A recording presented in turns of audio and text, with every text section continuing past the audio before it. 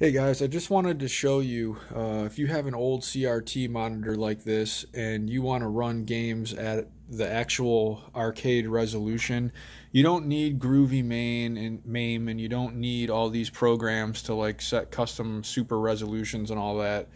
Um, if you have an NVIDIA GPU, I can show you, I don't know about AMD, but you're just going to go to your NVIDIA control panel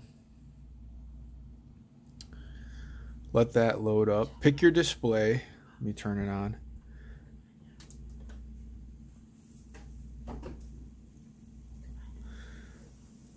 So turn that on and find your display here.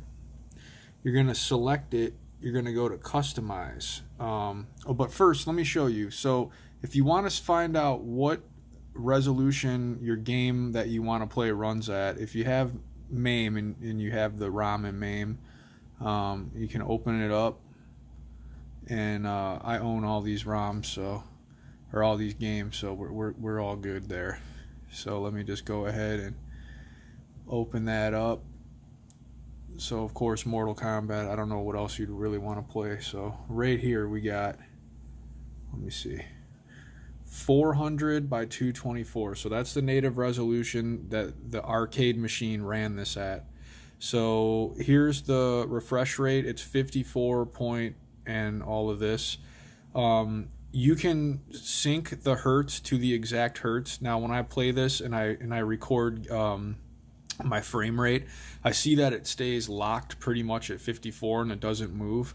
So if you wanted to set it to 54 hertz, you could, but I you just see on CRT monitors, you can see um, uh, strobing, and I don't like that. It just makes me sick. I played in an arcade, and it was actually kind of like that, and I just I don't like it. I like to just leave it at 60.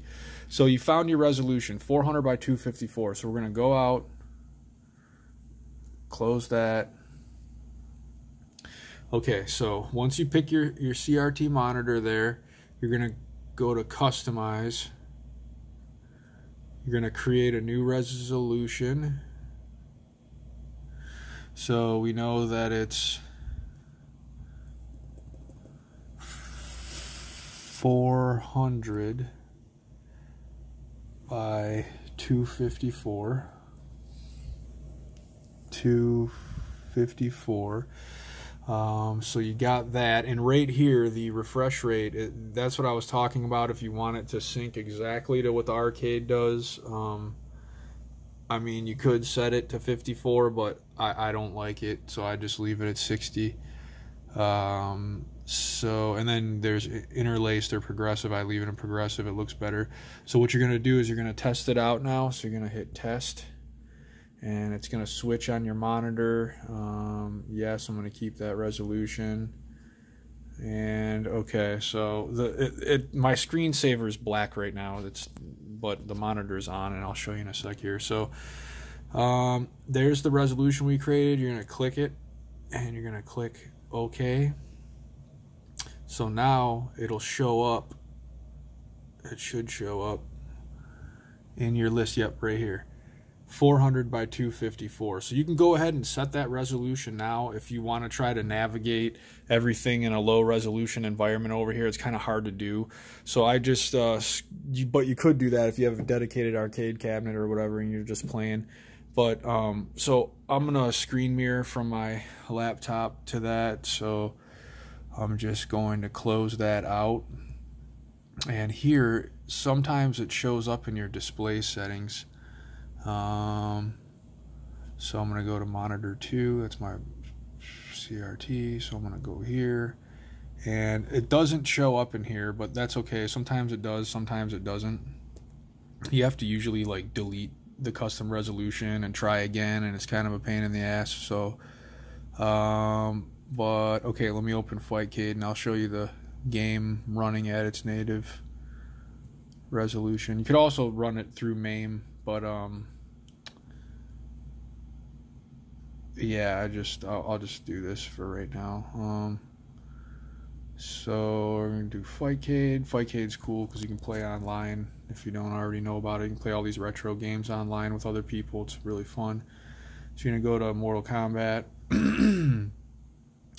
so you're looking to test the game and it's already running at uh, arcade resolution. But you're going to want to go to choose full screen monitor and make sure you select the one that's um, the default one here is my laptop, and then this is the CRT. So I'm just going to pick that, hit OK.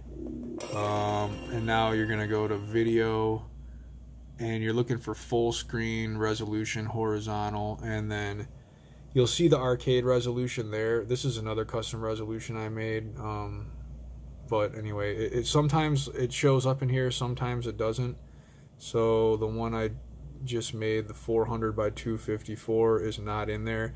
But we already made the resolution and it uh, it's, it's already recognized. So let me just I'll just do that for now. But okay so I'm gonna go to video. I'm gonna go to horizontal and I'm gonna switch it to arcade and you'll see it kind of shift so you'll just double click to go to full screen and now oh, wait a minute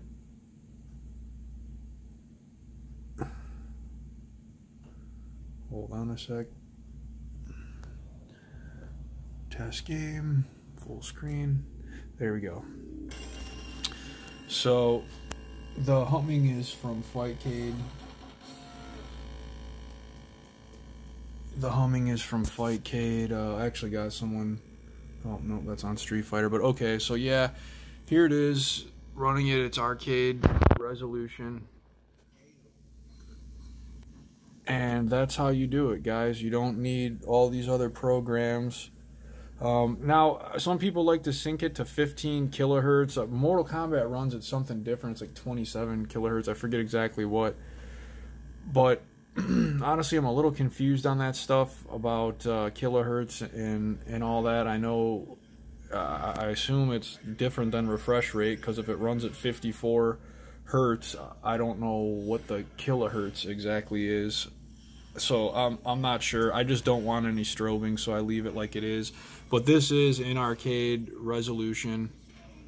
Uh, it's native res, so it can't really look any better than this. And this is just, it's pretty cool. So if you guys are looking to